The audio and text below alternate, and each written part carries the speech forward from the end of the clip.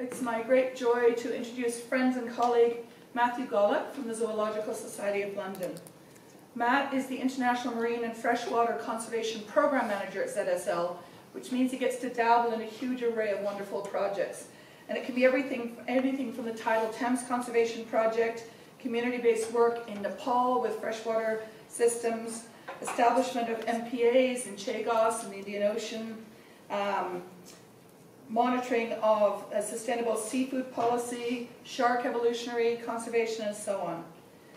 Uh, today he's going to be talk to, talking to us about his primary focus, which is eel work. So Matt did his PhD studying the effects of invasive parasite on European eels, and he continues to work at the absolute forefront of conservation of eels, their management, their policy dimensions. He's chair of the Anguillid Eel Specialist Group, and that means he's charged by the global family of conservation organizations with cooperating, coordinating, and stimulating conservation um, among experts around the world. He's also the, uh, a member of the Marine Conservation Committee of the IUCN, um, a very small group that is attempting to make a very big difference. And he's very involved in CITES. You'll find Matt at CITES meetings influencing policy and contributing a lot to the dialogue about how we regulate exports to sustainable levels. Uh, Matt still remains very involved in eel work, eel conservation work on the ground as well, and he's going to be involved in a new project um, of the Azores, I guess it is, in um, the Central Atlantic with a lot of Portuguese collaborators that's just getting underway, and Matt doesn't yet know it, but he owes me a drink for that one. So keep that in mind. Um, and I'm really, really delighted to share with you um, the work of one of the people I most respect in our field, Matthew Gollock. I'm going to sort of give you a broad overview of the work that um, myself and, uh, as importantly, many, many of my colleagues are doing for anguillid eels. And these are species that I think a lot of people sort of look at and kind of pull faces at. And hopefully by the end, I certainly see part of my role um, as an advocate for these species is, is being kind of their hype man and winning people over um, to sort of highlight why they're important, why they're interesting, and why you should care. Because obviously there's many, many species out there that are in trouble and everyone has their favourite, but this is mine. So uh, the subtitle of this is also eels are why, because that's the question that I'd say over the past 20 years I've been asked most. Because as I say, people do sort of look at them and kind of wonder why I would um, uh, do this. Um, so um, I'll get started. So just to, um, the Pacific coast of North America is one of the few places in the world you don't actually get eels. So um, I'm going to sort of give a general overview of the biology. So um, I hope this isn't too simplistic, but um, when people think about eels, they just think of something long and thin. And this is something I suffer from because people come and ask me about all kinds of eels when in fact my knowledge is actually pretty limited. I'm only especially interested in 16 species, but 16 wonderful, wonderful species. Um, you find them in temperate and tropical regions. Um, I think they're found in, I think it's maybe over 100 countries, I'm not sure, but there's a few areas in the world that we don't find them. Generally, there's like two morphs. There's uh, mottled and bicolored. Um, this, is, this becomes particularly important when it comes to trade because the bicolored species are the ones that are particularly prized. Um, but these 16 species, though they're found globally, have this very common but extremely complicated life cycle. This has multiple life stages. Um, they're catadromous, so this means that they feed and grow in continental waters, but they spawn in the oceans. So it's kind of the opposite, basically, to salmon. Um, the semelparous, so they, they feed and grow and grow and grow and grow, and then they have one big spawning um, event, and then they die. Now, some of these species can live to over 100 years, so there's a huge amount of investment that goes into this sort of single um, event. So as they go further and further through the life cycle, they become more and more precious, and the, the ones that are leaving freshwater systems to, to spawn, these are really the sort of the ones that we really need to focus a lot of our attention on and they're panmictic. So this spawning event that occurs right across the species range, and some of these species can be found in 15 different countries. They all converge on one area. So it's not like there's sort of little breeding populations all over the place. This all happens in one single place. now, my personal um, expert expertise, or my, my, the one I have greatest knowledge of, I would say, is the European eel. Um, so I'm going to kind of use this as a model species. That's the one I'm primarily going to be talking about, though I will touch on other species. So just to give you an overview of the life cycle, and um, I'll go on to talk about how this um, uh, manifests itself for the European eel.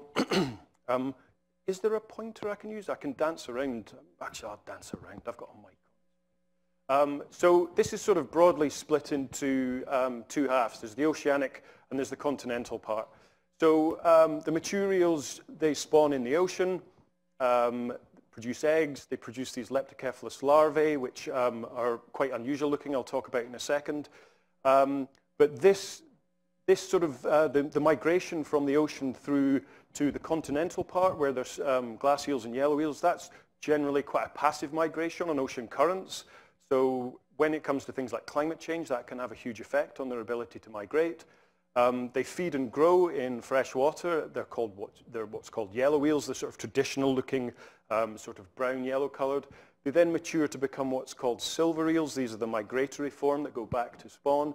And there's a number of physiological changes that are going here. You can see the eye gets bigger, the coloring changes, they become counter-shaded um, in order to hopefully avoid predation in the open ocean. Um, and then they go back and spawn. And as I say, this can be a hugely variably timed process. In the tropical species, it can be as short as maybe two, three years. In um, some of the colder, more northern environments, some of these, some of these processes can be up to 100 years.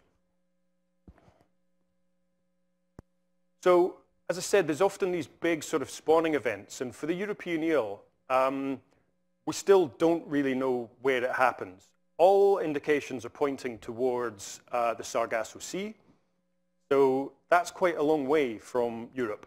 That's from, say, parts of Norway, that could be almost 10,000 kilometers. From Morocco, the Azores, you're probably talking maybe three or 4,000. But it's a huge migration for these species to make. and especially when they're the juveniles. That juvenile migration can take three years. The adult migration back can be maybe a year, um, 18 months. But most of our knowledge is still based on the work that this gentleman did, Johannes Schmidt, in 1912. He was sponsored by the Carlsberg Foundation in Denmark.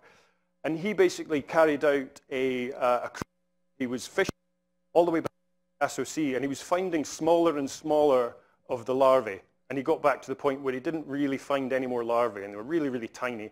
So logic would suggest that this is where they spawn.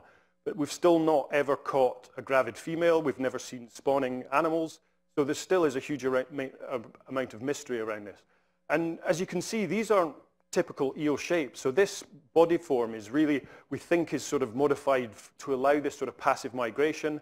Um, but it wasn't until, I would say, the mid um, 1800s that they actually identified that these were eel larvae. They thought we were a completely different species.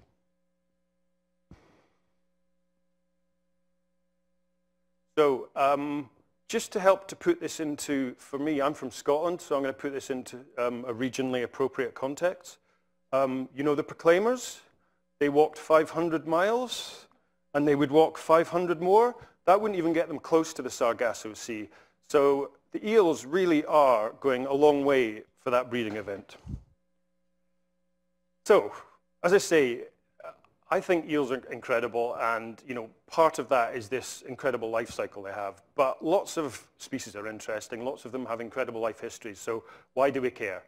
Well, for the European eel, um, this is um, the sort of, I guess, the sort of the, the key piece of analysis that occurs. This is from the ICES eel working group, and they bring together a lot of um, the available data sets, and they put together this index of recruitment. So this is basically the number of larvae that are arriving in continental waters, um, and this sort of gives us an indication of the status of the species as best as we can um, uh, interpret it. And as you can see, from the sort of 70s, 80s, there's been a, a decline. Um, now, it's quite a noisy graph, but at present we think that from the baseline level, which is round about 1980, that at the moment the, the, um, the recruitment is probably about um, 5 to 10% of what it was at the baseline. So at the moment, we're in not a particularly good situation. And this is also, this is a, a bit of an old graph, but the, the, um, uh, the, the trends are still the same. We've seen the same in the Japanese eel and the American eel. And these are the three kind of primary northern temperate species. Um, I mean, the reason we have, I'd say, such good data sets is these three, until recently, were the ones that were historically exploited. So a lot of the information we've got here is due to the fact that they're economically important, and that's driven some fisheries independent data.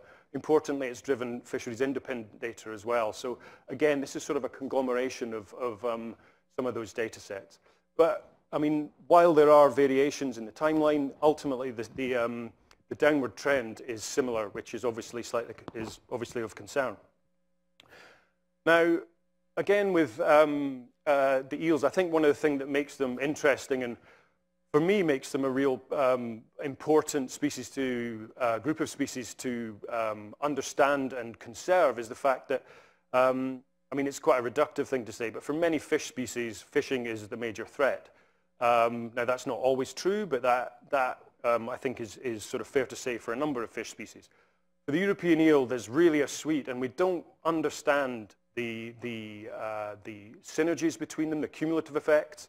And so part of what we're doing is really trying to understand the threats to this species and how they all interact. So as I mentioned before, with this passive migration, the impacts of climate change and changing oceanic currents are really important.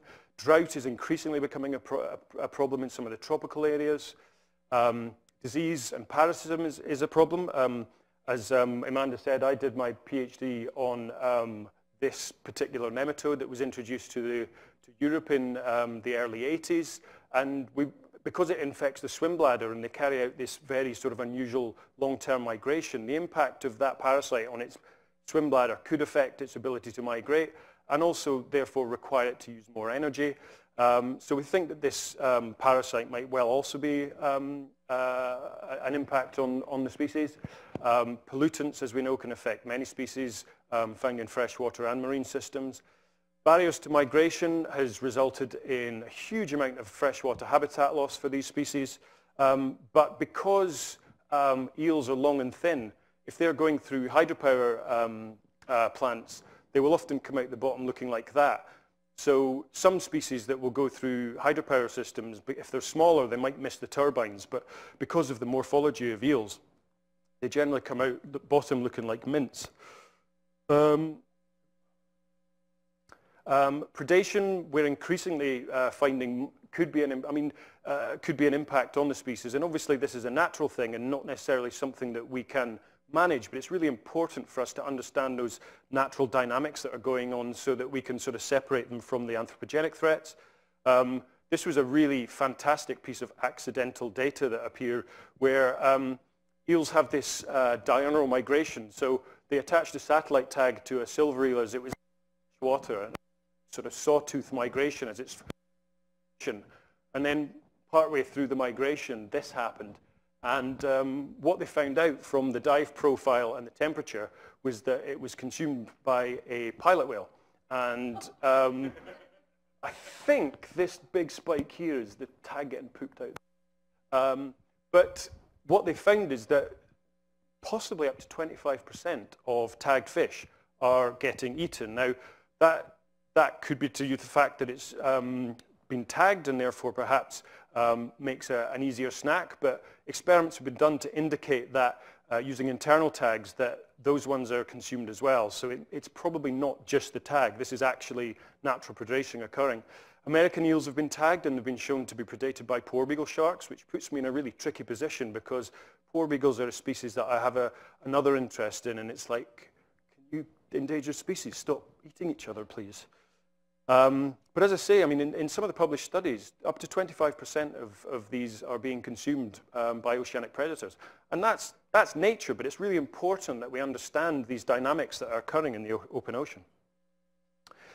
And um, as I said before, I mean, I'm not saying for a second that fisheries, unsustainable exploitation trade um, aren't a problem, but we need to understand the, the, the problems as a whole we need to understand them individually, but we need to understand them as a whole. And it's really farming um, in East Asia that's driving this unsustainable exploitation and trade. And I'll come on to that a bit later when I'm talking about um, the work we're doing with CITES. That's a very, very broad overview, and it's very reductive. Um, I can talk to you, I can bore you senseless about the specifics of it afterwards if you like, but um, they really will vary a lot depending on species. There's some places where some of these things aren't quite as big a deal. And that sort of, you know, again, this is sort of, a, this laundry list sort of brings us again to sort of how do we prioritize um, where we do our interventions. Um, and a lot of these really aren't very well understood. I mean, there's a number of papers producing climate, the impacts of climate change using modeling. Everyone says a different story. And so and as we're gathering more and more information, these things will become more and more robust. And I think when it comes to translating the science of, um, that has sort of been born out of the research that's told us a lot of this thing, we really have to think how we translate that into management. And ultimately, most of the management and the policy that we're going to be able to do is going to apply to continental waters. Our understanding of what happens in the ocean, our control of what happens in the ocean is ultimately very limited, as I'm sure you know yourself. So our opportunity to really help anguillid eels is in the freshwater systems. So as I say, prioritization, I mean, that's, we've got 16 species affected by multiple threats in multiple places around the world how, you know, I'm one person and, you know, there's a handful of other nerds like me, but we're a small in number, as I'm sure it won't surprise you to hear. So how do we go about identifying where we do things? Uh, we've got multiple th threats, species, I've sort of said this. So anyway, um, this is where it kind of brings me to the red list a bit, because that's one part of my, my role, um, both at ZSL, but as part of the, the red list, um, uh, sorry, the, the IUCN Anguillid Eel Specialist Group. Um, I'm sure most of you know about this already, but just in case, the um, IUCN Red List is an assessment of threat. Popula it's based on population change, threats and associated management, geographic range. Um, one thing I get hugely, um, hugely frustrated by is when people use the term red listed because it makes it sound like it's a negative. Just because it's been assessed under the red list doesn't necessarily mean it's in danger. So um, we carry out this assessment in order to help to prioritize which species we, we, we need to look at. Um, so the last time we carried out the assessment, 2013, we found four species were threatened, and um, the three of those were probably the ones at the time that were most traded. Four were found to be near threatened. Two were least concerned. So these are the ones that, you know, red listed is not a term that's particularly helpful species can be found least concern. And that ultimately means that it doesn't mean we should ignore them, but it probably means that we can focus our attention elsewhere. And three were data deficient. Um, we actually held another workshop in November 2018, so we're hoping to update these assessments uh, by the end of, of, this year. So I've painted a, a, possibly a slight picture of doom and gloom there, but hopefully the rest of it will be a beautiful sunlit horizon about how we're doing things to make the situation better. So I'm going to talk about the European eel primarily. I'll talk a little bit about some other work we're doing towards the end. So the European eel, um, I think to give um, the European Union their dues, they've really recognized there's a problem and um, at the policy level, they've basically implemented what are called EU management plans. Um, this is to, basically it sort of devolves um, uh, management and um, interventions to the national level, which I think is appropriate because, as I say, these threats um, that I've highlighted will affect the species in different ways. And so it's important that, these, that the interventions are done in a regionally appropriate way. So they can look at fisheries management, fish passage to try and get past these barriers. Um, they're looking at restocking, whether taking fish from an area where there's perhaps more than another place, it's whether it's useful to put it there, or fish that are perhaps coming into an area that's very polluted to get them before they go in there and then put them somewhere where they might thrive better. Um, these have been in um, activity for nine years now, and I think, I think it's a good first step. It's really good in theory, but the, the implementation of it has highlighted that there are limitations. And again, to give the EU their, their reviewing it just now with a hope to, I think, to learn from these lessons, where it's worked, where it's not worked, where we perhaps have to, to sort of rejig things. And they are doing open consultation, which again I think is really important. But there is little coordination and harmonization. So while this devolvement to the national level is important, it's also important that there's at least some ability to sort of compare how each country is doing with one another rather in isolation. And it is quite difficult to test their effectiveness because there's taken um, so I think this is a real um, point for um, not just the European eel, but all species. Because some of these species have such wide ranges, there's so many different interventions for um, these different threats, it's really important there's coordination across the species range. So some species you'll only find in one country, some you'll find in 50. It's really, really important that there's that, that coordination occurs right across. So um, I guess another sort of um, multinational level um, approach um, is CITES, as um, Amanda mentioned before. Um, this really links to trade, and this is sort of a, a soundbite about CITES is. Um, there's significant trade in all eels. European eel, Japanese eel, American eel have traditionally been the, the biggest traded ones.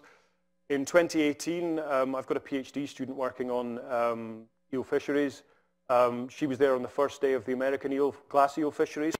As glass eels, they can then arms to grow them up. Uh, one kilo of glass eels was going for $5,500. Now, my understanding is that that's more than ivory. So, you know, there's certain species that get um, a lot more attention than others, but in fact, the trade could be even more valuable. The European eel was listed in Appendix 2 of CITES in 7. This is basically, it doesn't prevent trade, but it, it, it is put in place to prevent unsustainable trade and use. They have to produce what's called a non-detriment finding, which basically is evidence to support the exploitation and trade of the species. and yeah, they basically take information around fisheries, they'll take information around threats, policy management, and produce a dossier really to sort of say, we're comfortable that catching and trading this species is not having a significant impact on the conservation uh, or on the, the status of this species. In 2010, after the species was listed on CITES, the European Union decided that they weren't able to make a non-detriment finding. Um, the European eel is listed as critically endangered on the IUCN Red List, and they felt that a species in this, with this critical conservation status, they couldn't make a non-detriment finding.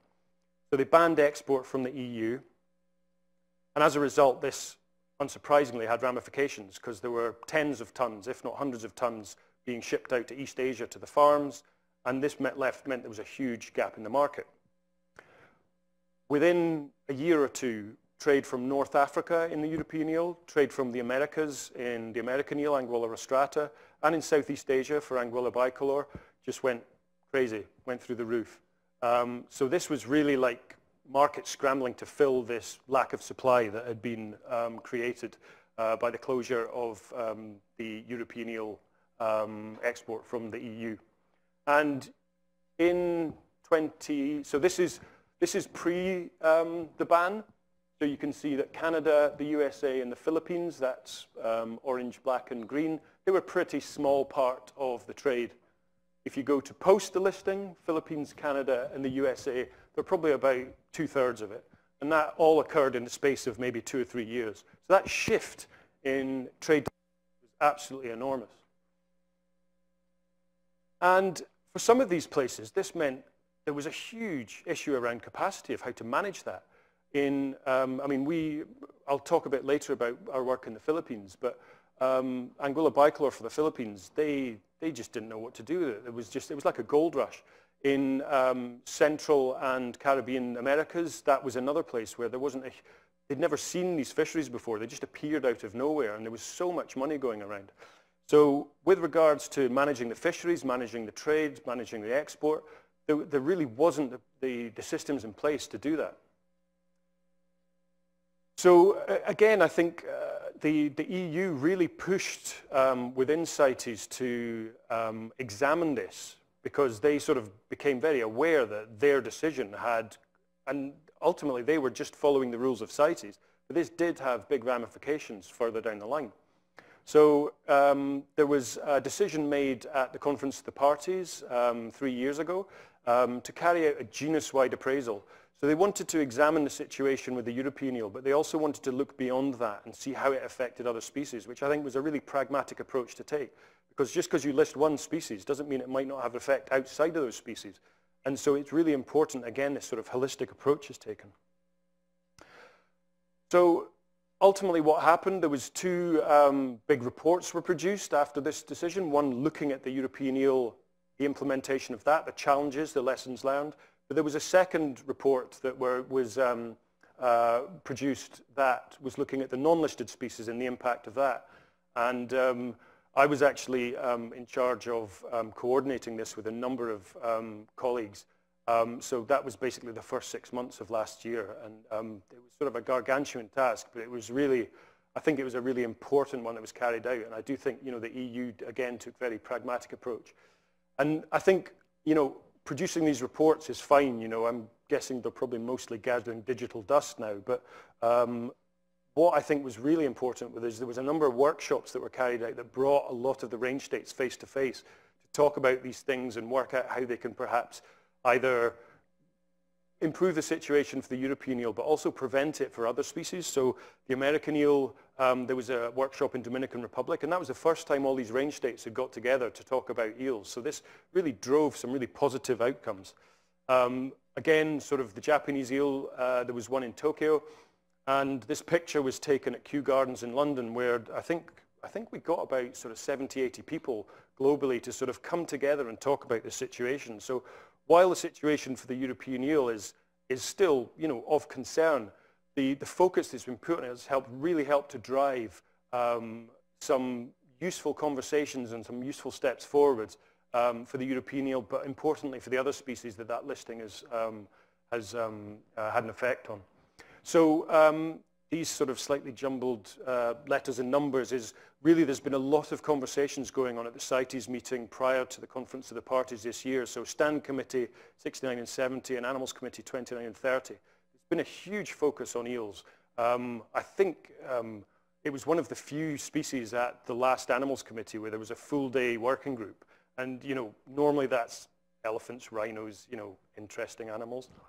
Um, but, you know, the, the, the fact that the eels had got a full day set aside just highlights how important that they're taking this. And I think it's, you know, I think for me, I think it's just fantastic that these problems are being examined. Again, this is another global convention, the Convention on Migratory Species. Um, European eel was listed by Monaco um, on Appendix 2 in 2013. and the Convention on Migratory Species is really just as it says. It's, it's sort of it's a convention in place to deal with species that do range across multiple um, different um, uh, areas, and the European eel is obviously a, a, really fantastic example of that. I mean, I've even heard people within the, the, the, CMS sort of saying that you probably couldn't get a more flagship species for CMS than the European eel. Um, and again, I think you know this listing has really helped to drive some useful things. I mean, I, am not going to. I don't think workshops are going to fix the world, but I think getting people face to face and often for the first time is a really important thing, so that people know who they're dealing with. So we had a range state meeting in 2016 in, in Ireland. Um, there were a number of what they call concerted actions, which are really just um, an agreement measures that countries are going to take in collaboration to make the situation better. And we had a second range state meeting earlier this year um, in Sweden, which again is sort of building to develop an instrument under the CMS that will again sort of like push this collaboration. And I think the important thing about the, con uh, the Convention of Migratory Species is that for CITES, most of the actions occurred within the EU. This is really looking at about the species beyond um, not just within the EU, it's across the range. So it's going to take in places like North Africa that often get kind of forgotten about and have less capacity. So hopefully this is going to be able to help to, to share lessons learned and, and help to um, make the approaches to conservation more joined up. So that's sort of some of the very high level stuff we've been doing in relation to the European eel. Um, as I said, the Philippines sort of about five, six years ago really came into um, came into focus when the, the, the trade exploded. Um, and it was also apparent that there's been very little um, eel, but also freshwater research in the region today. And I mean, I would say actually that Project Seahorse is probably behind why we've actually gone in here because um, ZSL and uh, UBC, who developed Project Seahorse, um, have had a presence there for so long. It meant that we had a really nice network of people within government and NGOs that we could go in, myself and my sort of eel colleagues could go in and we, we were recognized and we were able to establish quite quickly. So, you know, this work I would say is in part thanks to the seahorses. So thank you. Um, But um, it did really highlight when we went in there and we carried out a scoping trip that fresh water really hadn't been um, very well studied there. And I think, it, you know, globally, it really sort of becomes third fiddle to terrestrial and marine. Um, and this sort of really started me thinking about trying to use um, eels as a kind of flagship for aquatic conservation. You find them in marine systems, you find them in freshwater systems. And over the past sort of five years, we've been really sort of using the eel to drive freshwater conservation in the Philippines. Because the Philippines is this sort of handful of scattered islands that was sort of cast there, and there's thousands and thousands of them. And so people generally focus on the coastal areas because there's so much coast. But there are some big freshwater systems that are, do need attention. And so there was a real appetite within the Philippines to begin to, to look at these freshwater systems that had, for, for the most part, been ignored for a long time. So we carried out a collaborative project um, from 2014 to 2017. Um, it did focus to some extent on trade, so we worked with traffic, but also two um, Filipino um, government um, uh, departments. So there was the Bureau for Fisheries and Aquatic Resources and the Department for the Environment and uh, Natural Resources. Um, and I mean, this is very high level. This was a three-year project with many, many outputs, but basically our main aims were to carry out a trade analysis and to look at what had happened since uh, the European eel had been banned and suddenly this, this trade exploded. We went in to carry out baseline biological and importantly socioeconomic data collection because obviously there was a lot of people that were now making a lot of money from these um, eel fisheries. You know, what would be the impact of suddenly going in and implementing fisheries management? You know, we didn't want to sort of go in and sort of ruin people's livelihoods. Carry out freshwater habitat assessments and also threat analysis to get a better understanding of which of those threats are particularly impacting eels and what, what's um, impacting freshwater more broadly to try and develop an eel management plan, but really using lessons learned from the European situation. Not for a second am I saying that the eel management plans in Europe are perfect, but we can learn like what worked for them, what didn't work for them, and how can we apply it in this new situation. And I'm really hopeful that in future, you know, the lessons learned from this could hopefully help to inform other eel management plans developed elsewhere. And we also wanted to look at whether community-based eel farming could be feasible. There was a huge demand for eel farming in the Philippines, and most of that was from outside the Philippines. And we thought, if it's going to happen, why don't we at least try and the benefits of that within the country? So we carried out this small-scale community-based eel farming project. Um, I'm pleased to say that in 2017, we got another grant to follow that work on. So it kind of spread beyond the sort of the trade and perhaps um, still looking at eels. But we wanted to look at freshwater management. Um, and again, we carried out this in collaboration with our colleagues from the government departments, and this will run till 2020. Um, so we are carrying out some tagging studies of eels to see how they use the freshwater systems. Um, we're looking at community-based freshwater protected areas. You know, everyone sort of hears about marine protected areas, but we're looking about how freshwater protected areas, which have been established in a number of places, but not in the Philippines before. So this was really a case of um, how, can we, how can we examine whether this is going to work in, in the communities here. we wanted to try and build community capacity and resilience, especially in relation to livelihoods. So we've established small community banks there, which is something that we've been doing right across the Philippines. Um, Invasive species, we've learned from our first project, was, was a problem there. There's a lot of tilapia stocking going on, so we're looking at how we can potentially try and limit the impacts of that. Um, and again, we want to look at whether we can um, try and, because the tilapia are put in for food, we're looking at whether we might be able to try some native species farming with the, with the local uh, community. So that, those two slides is basically five years of work. I feel, don't feel like I've done it justice, but um, it's a, I mean, it, it's probably the thing that I'd say I'm probably most proud of. I mean, like the, the integration we've got with the communities there is fantastic. Like we've just built such good relationships. We've got such good support um, that, and the staff members out there is six, but I would say our team is hundreds because we've got so much, so many of the, the community. Um, and uh, I think this is basically the last um, sort of section. Um, when, when I think people that know eels, when the first sort of place you think of when you think of eels is Japan. Um, as far as sort of culture, consumption. Um, Japan is kind of the seat of it all. Um, they have, uh, yeah, this was, this was a quote that um, you can find many like this, but customary to eat eels or unagi, which is especially rich in vitamin E on the day of Doyo Ushinohi to stay healthy and to help one safe uh, over the heat wave. Eating eels is centuries old tradition in Japan. Um, this here on the left is, um, this is the sort of branding and marketing you'll see. And you can see the eel here, and it's always in that shape because that shape is actually Japanese character for u, so unagi. Um, and um, this they call kabayaki, it's eaten in bento boxes, and this is the thing that um, people generally eat. They tend to get very excited about um, on Doyo Ushinohi. So this was a, a, chocolate eel that I was gifted when I was out there on Doyo Ushinohi. And it turns out that uh, Hello Kitty also likes eels. And when I was out there, I found out that myself and had more in common than just eels because she's the same age as me. We're both 44 years old. I think she looks better than I do.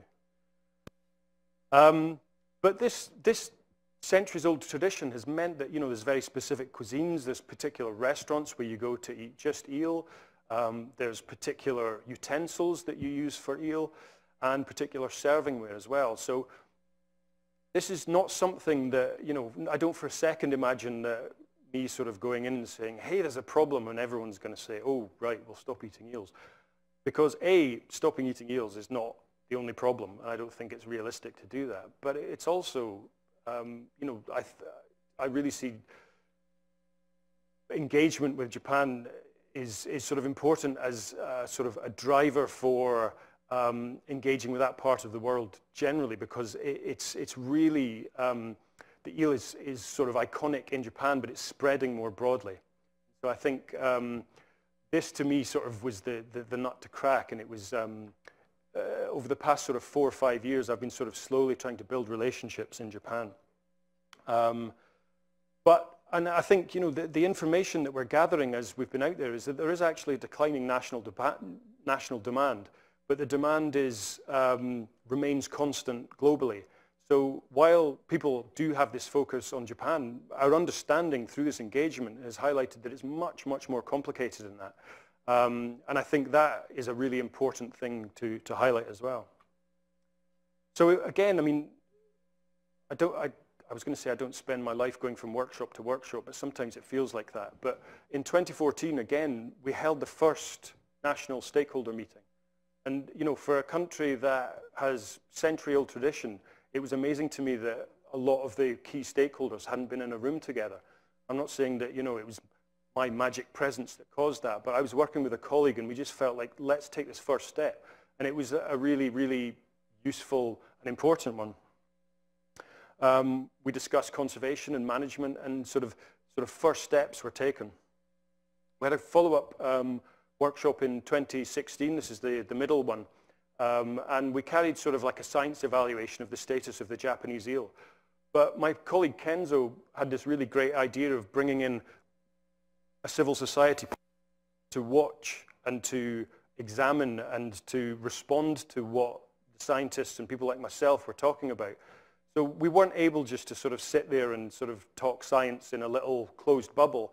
We had to make this understand, we had to make it understandable. We had to make sure that the civil, you know, the people in the room that were there to kind of watch us and, you know, I guess sort of leave with an understanding, like really sort of um, were able to do that. And, you know, they grilled us in between, like, you know, why did you say that? Or, and so I felt that was a really interesting approach to take. And at the end, we had a big public um, lecture, and some of the folks from here stood up and talked. I think, I think the young lad in the middle was maybe like 11, and he got up on stage and talked, which I thought was really, really impressive.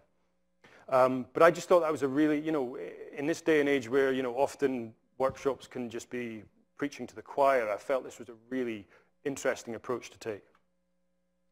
And last year, um, I went out again, and again, it was, it was really about continuing to build um, relationships. I mean, often I'm only there for a week or two, which is a very small period of time, but met with um, government, met with uh, industry, met with NGOs, and again, just sort of discussing how we can sort of move the, move the, um, uh, move the conversation onwards. So, um, that's my summary. I think they're amazing beasties that face a range of threats. Um, but I think it's really important to highlight that there has been a lot of progress made. Um, hopefully from the case studies, it sort of highlights that, you know, that there's, there's action being taken at the global level, the multinational level, but there's also things happening um, at, the, at the, the national level as well. But I think for the European eel, it's really important to look at what lessons we can learn.